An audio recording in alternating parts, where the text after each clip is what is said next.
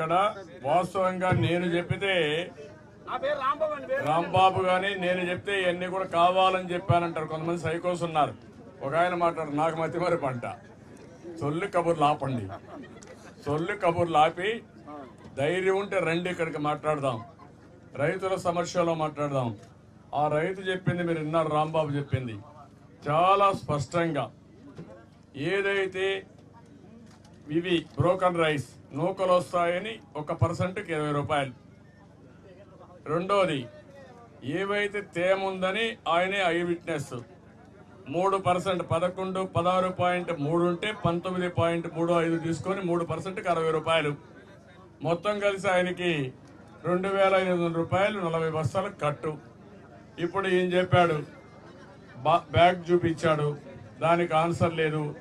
ఈ పెద్ద ఆయన చెప్పాడు ట్రాక్టర్ ఎక్కిస్తే ఇరవై వేల రూపాయలు కట్టమన్నారని నేను ఆర్డర్ చూపించాను.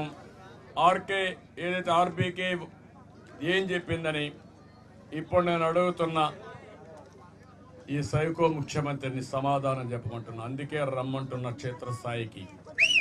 ముఖ్యమంత్రి క్షేత్రస్థాయికి వస్తే వాస్తవాలు నీకు తెలుస్తాయి. తాడేపల్లి కొంపలో కూర్చుంటే నీకు వాస్తవాలు తెలియవు. ఆ విషయమే నేను చాలా స్పష్టంగా చెప్తున్నా.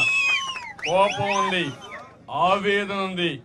ఇలాంటి నిస్సహాయాలు చూస్తే బాధ ఉంది. నేను ఈరోజు రాకపోతే ఈయన ఆత్మహత్య చేసుకోవడమో లేకుంటే పిచ్చోడై రోడ్ల మీద తిరగడం జరగాల. ఏంటి అరాచకం? ఇంత అరాచకాలు చేయడానికి ఎవడిచ్చాడు నీకు అధికారం? ఇది చూసిన తర్వాత మీకు అర్థమవుతుంది. ఏ విధంగా రైతాంగం ఉన్నారో అర్థమవుతుంది. ఇప్పుడు ఆ రైతు పేద రైతు యొక్క బాధ వినమంటున్నా. ఇరవై వేల రూపాయలు డిమాండ్ చేశావని చెప్పాను. నీ ఆర్డర్స్ చూపించాను. నీ ఆర్డర్స్లో రైస్ మిల్లర్స్ డబ్బులు అడిగితే వాళ్ళు జైల్లో పెడతానన్నావు. పెడతావా అని అడుగుతున్నా. ఎప్పుడు పెడతావని అడుగుతున్నా నేను. దీనికి సమాధానం చెప్పమంటున్నాను. రైస్ మిల్లర్స్ కోరుతున్నాను. మీరేదో అతనికి డబ్బులు ఇవ్వాలని అతను ఒత్తిడికి లోనై ఇష్టానుసారం కట్ చేసి ఆ కట్ చేసిన డబ్బుని తాడేపల్లి ప్యాలెస్ పంపిస్తే మీరు జైలుకు పోతారు. నేను అందరికీ ఒకటే అప్పీల్ చేస్తున్నాను. ఏ రైతైతే డబ్బులు కట్టాడో ఆ డబ్బులు తిరిగిచ్చే వరకు పోరాడతా. ఇప్పుడు ఆయనకు రెండు వేల ఎనిమిది రూపాయలు తీసుకున్నారు. అది తిరిగి ఇవ్వాలి. అది తిరిగి ఇచ్చే వరకు వాళ్ళకి అండగా ఉంటా. నువ్వేం చెప్పావు? చివరి గింజ వరకు కొంటానన్నావు. చివరి గింజ అంటే ఏంటి?